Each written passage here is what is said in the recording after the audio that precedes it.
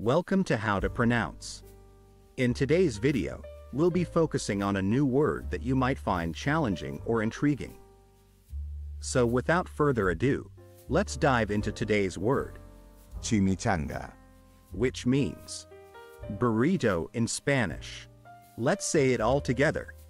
chimichanga, One more time.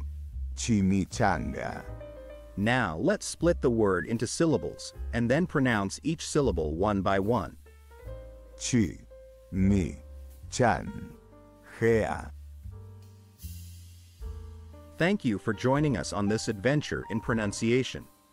Remember, language is a journey, not a destination. Keep exploring, experimenting, and expanding your linguistic horizons. We'll see you next time.